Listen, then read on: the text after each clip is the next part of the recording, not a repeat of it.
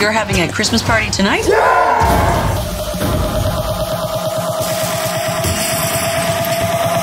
It's not happening.